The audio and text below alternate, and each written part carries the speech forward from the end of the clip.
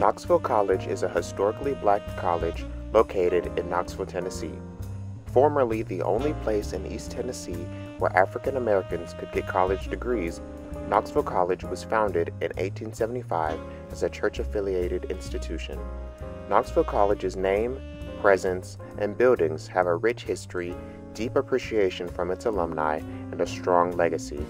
Over the years, however, Knoxville College has faced enormous challenges, including hazardous materials being found on campus, fires, declining enrollment numbers, the loss of accreditation, and temporary closure.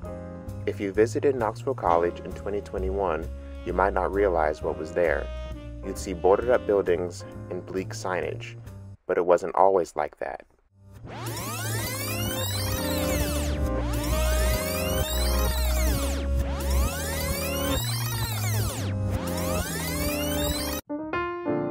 Knoxville College has been involved in some important moments in history.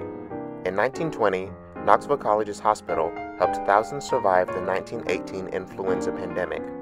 In the early 1900s, influenza claimed the lives of over 100 million people.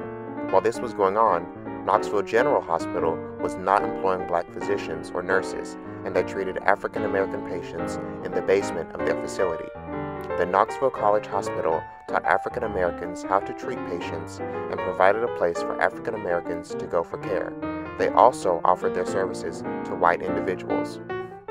Knoxville College students also took part in the Civil Rights Movement. After being inspired by a group of four black teenagers in North Carolina who decided to sit at a store's lunch counter but were refused service, a few Knoxville College students wanted to do the same.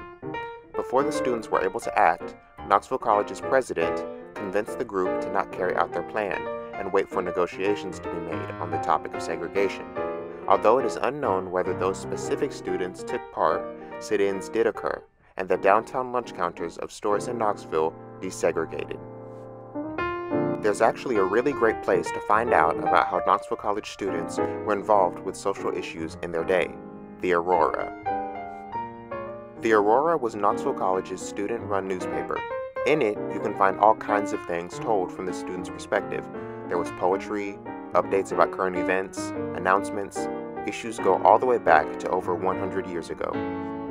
One issue mentions Knoxville College students preparing for the Poor People's Campaign to come through Knoxville. The Poor People's Campaign, as mentioned in the film At the River I Stand, was a demonstration that was meant to help poor individuals get employment and steady income and was supposed to conclude in Washington. It was planned by Martin Luther King Jr., who, eight years prior to the Poor People's Campaign, went to Knoxville and even spoke at Knoxville College. Before Martin Luther King Jr. could take part in the Poor People's Campaign, however, he was assassinated. Knoxville College's Aurora didn't just talk about issues that were part of the past. Some of the things that were issues back then are still issues today. A 1998 article in The Aurora called Beware of Laws That Discriminate talks about incarceration. It mentions that black people made up 75% of imprisoned youth.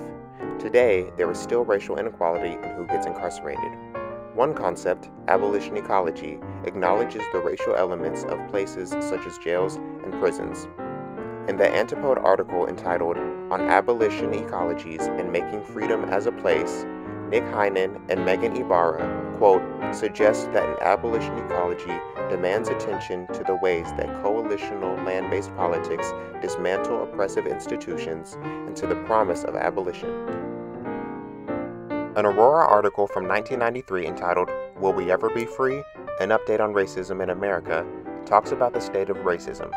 It mentions how a report from 25 years prior warned that if racism did not subside, America was heading toward being a two society nation. Several students in 1993 said that racism was still around. Some students thought that the dynamics of racism, who was oppressed and who was the oppressor, would change. One student named Terry Sims commented, By the year 2020, the roles will be reversed because so many people are progressing in the game of life. And while many great black artists, doctors, astronauts, activists, and teachers have risen up since then, black people still get mistreated. The year 2020 did not see a reversal of roles. It saw the deaths of George Floyd, Ahmaud Arbery, and Breonna Taylor. These examples highlight racism's persistence and pervasiveness. While Knoxville College remained a beacon to the community for years, it did lose some of its shine. Over the past few decades, they faced several challenges, including enrollment dropping, the loss of accreditation, hazardous materials being located on campus, and multiple different instances of fires.